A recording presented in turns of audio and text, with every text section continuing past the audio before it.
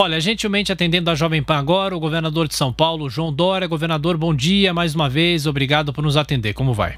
Bom dia, Tiago. Bom dia, Kalina. Bom dia, Rodrigo. Bom dia, Augusto Nunes. Bom dia, ouvintes e internautas da Jovem Pan. Governador, a grande pergunta é: o doutor Davi Uip está com coronavírus, inclusive ele divulgou um vídeo nas redes sociais, o senhor mesmo colocou no, no, no seu Twitter, e o senhor se submeteu a um exame. O senhor já tem esse resultado? O que, que o senhor pode dizer para os ouvintes espectadores da Jovem Pan?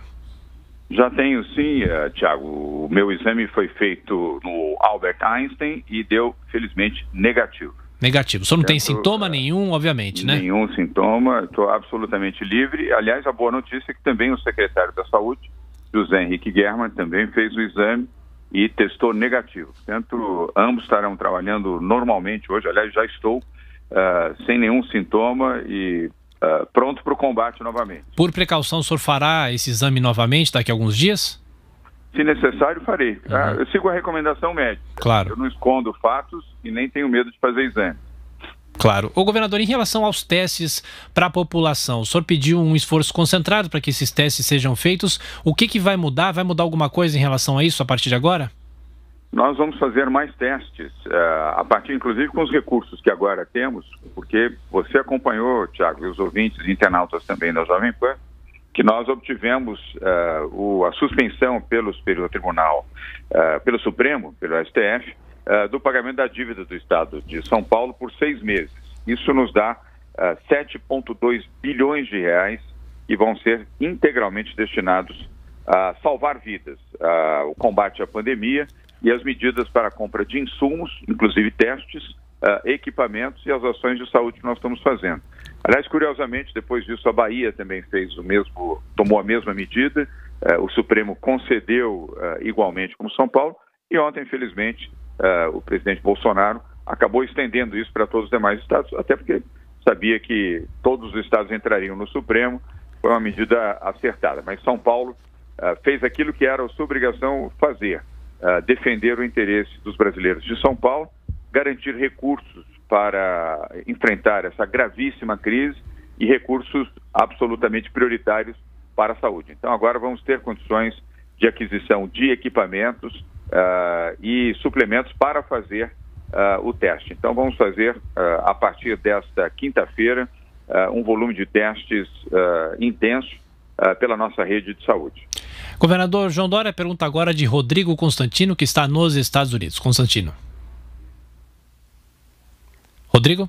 Mais, Agora sim. Mais, é, bom dia, governador. Nós temos visto cada vez mais gente aí é, tentando questionar a busca de um equilíbrio entre o isolamento social e fechamento de vários serviços. São Paulo decretou o fechamento de vários restaurantes, vários serviços e manteve os essenciais, mas é, o senhor mesmo tinha voltado atrás em relação às fábricas, ou seja, há um debate ganhando força de que é, você não pode sacrificar é, a economia porque é ela que produz inclusive os recursos de que o Estado precisa para poder atender na questão da saúde as pessoas todas. Então, como é que está na cabeça do governo de São Paulo a tentativa de encontrar aí esse difícil equilíbrio entre é, achatar a curva da disseminação do vírus, ao mesmo tempo preservar ou permitir a retomada de alguma produção? É, Rodrigo, primeiro, muito obrigado. É, há pouco estava ouvindo a Jovem Pan e vocês ainda não tinham o resultado do meu exame, você, de forma muito gentil, uh, torceu para que o exame fosse negativo, como de fato acabou sendo. Então, obrigado pelo gesto solidário. Uh, depois, se me permite, uma pequena correção uh, na sua informação. Nós não voltamos atrás em relação às fábricas. A informação é a mesma, desde o início. Nós permitimos que fábricas pudessem estar funcionando. Nós não podemos ter o lockout, não podemos ter o colapso da economia brasileira e o colapso de abastecimento. Nunca o governo de São Paulo determinou o fechamento de fábricas. E não o faremos, exceto em situação extrema. Dentro que nós trabalhamos com vários cenários, Rodrigo. E uh, amparando todas as nossas decisões uh, no centro uh, de contingência do Covid-19, que até ontem estava sendo dirigido pelo uh, doutor Davi Wip, que continua a fazer parte dele, mas trabalhando remotamente. E a partir de hoje, a doutora Helena Stato passa a dirigir. Ela já faz parte desse centro de contingência e passa a dirigi-lo fisicamente e diariamente. Uh, e amparado nestas decisões ia e também uh, uma medida que nós adotamos e pouca gente percebeu até na imprensa, aproveitar para dar essa informação ou enfatizar essa informação, aos ouvintes internautas da Jovem Pan. Rodrigo, nós uh, contratamos a Deloitte, que é uma das maiores consultorias do mundo, que, aliás, aceitou nesta contratação fazer pro bono. Nós temos 22 consultores da Deloitte uh, trabalhando diariamente numa ampla sala no Palácio dos Bandeirantes, é uma sala onde caberiam mais de 120 pessoas, trabalham ali 22 pessoas, dentro da separação adequada, seguindo as orientações sanitárias, quero deixar claro, janelas abertas e com ventilação. E essa orientação da Deloitte, que está presente em mais de 50 países do mundo, nos ajuda muito, porque eles estão presentes, Rodrigo, nos países onde a Covid-19, ou seja, o coronavírus, já esteve presente nos seus momentos de pico e nos trazem as informações também de medidas acertadas de países como a Coreia do Sul, China, uh, Japão, uh, apenas para citar alguns exemplos, e as medidas que deixaram de ser tomadas erroneamente ou que foram medidas erradas.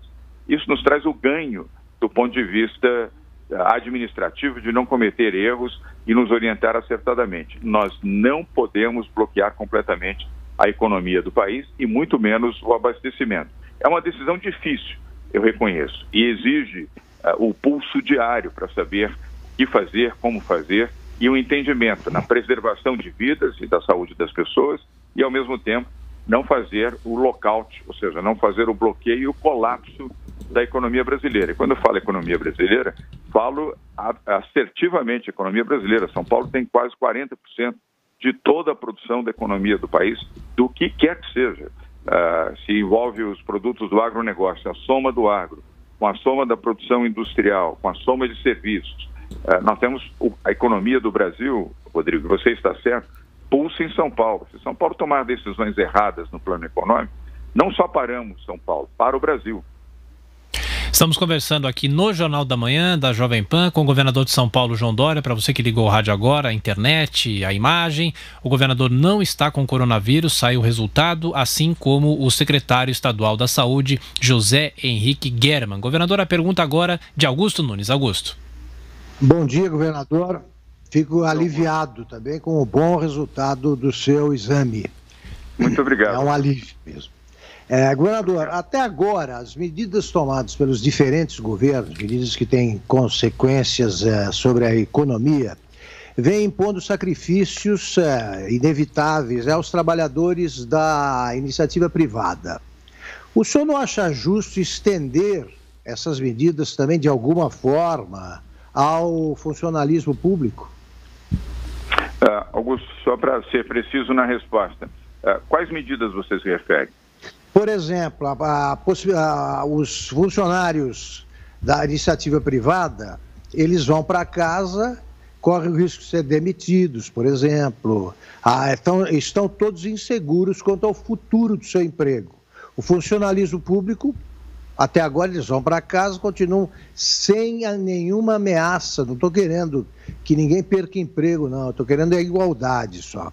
Eles vão para casa e não têm nenhuma preocupação quanto ao futuro. Não é justo, não é injusto isso?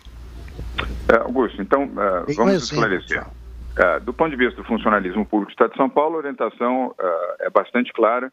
Pessoas com mais de 60 anos devem trabalhar remotamente, devem trabalhar na sua casa e não saírem de casa em hipótese alguma, exceto os profissionais de saúde, os profissionais de segurança e de áreas essenciais Sabesp, CETESB, que precisam continuar uh, funcionando, e aqueles que atuam em posições de comando uh, no governo, secretários de Estado, os dirigentes das empresas que atuam em empresas e autarquias, porque eles têm função de comando, obviamente com os resguardos e os cuidados devidos. Como é o meu caso, eu tenho 62 anos, eu estou no grupo de risco e tomo as minhas cautelas, mas não posso deixar de trabalhar e muito menos de contribuir uh, com a voz de comando, ao lado dos demais secretários e secretárias, numa gravíssima crise como essa. Mas tomo as minhas cautelas, evidentemente.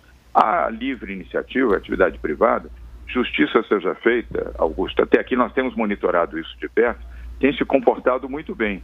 Uh, salvo raríssimas exceções, uh, a orientação também tem sido correta quem tem mais de 60 anos trabalhe remotamente. Os que não têm contato direto com o público uh, podem seguir o seu trabalho com os devidos cuidados, sempre E aí é uma questão de cidadania. Cada pessoa tem que cuidar de si própria, cuidar da sua família, cuidar das pessoas com mais idade que vivem na sua casa ou na sua proximidade e terem as devidas cautelas. Mas nós não estamos aqui em São Paulo bloqueando completamente a economia, seja a economia privada, sejam os serviços públicos, fazendo isso com muito cuidado, conforme mencionei há pouco na resposta ao Rodrigo Constantino, Augusto, para não criar o desabastecimento. É preciso ter muita sensibilidade e muita informação.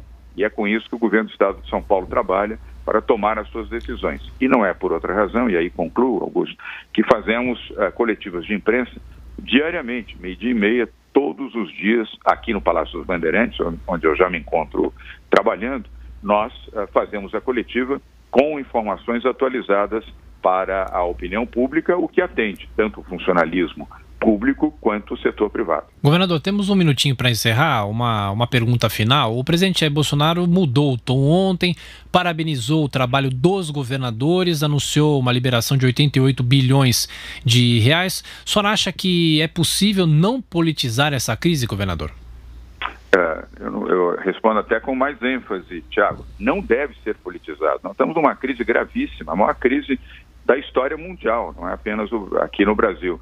Não é hora de politizar, colocar ideologia, partidarismos, processo eleitoral, brigas. É, esse é o pior caminho. Fico feliz que o presidente Bolsonaro tenha dado um passo atrás, tenha tido humildade, primeiro de dialogar com os governadores. Os governadores não falam com o presidente por falta de iniciativa do presidente e também de respostas desde janeiro de 2019. Fizemos várias cartas, várias manifestações, nós lideramos isso e apenas ontem o presidente tomou a iniciativa de começar a conversar com os governadores.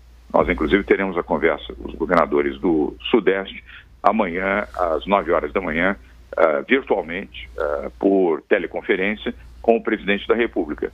Nessa, este recuo e a oferta ao diálogo foi a medida certa. O presidente se entrincheirar, uh, fazer críticas ao governador do Rio de Janeiro, ao governador da Bahia, ao governador do Ceará, a mim como governador de São Paulo, não contribui em absolutamente nada para solucionar a crise e nos colocar todos juntos para este enfrentamento. Portanto, eu saúdo essa medida, espero que o presidente continue dentro dessa linha, que controle também os seus filhos e o tal do gabinete do ódio, para produzir informações positivas uh, e colocar a presidência da República a serviço do país e dos brasileiros, onde quer que estejam. Agora não é hora de briga, nem de dissidências. Temos que, uh, uh, Tiago, estarmos todos absolutamente unidos.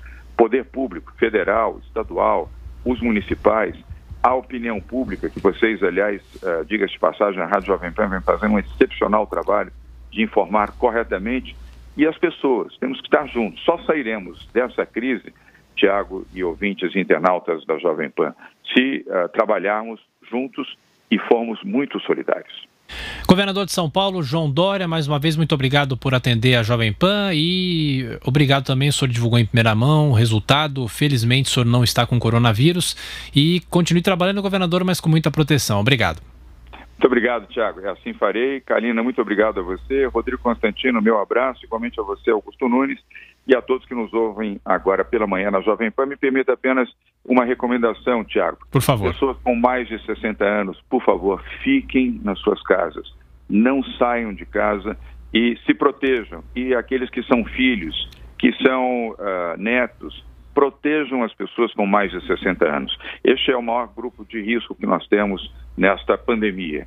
E tenham carinho e solidariedade com seus familiares e com seus amigos também. Um bom, bom dia a todos. Bom dia.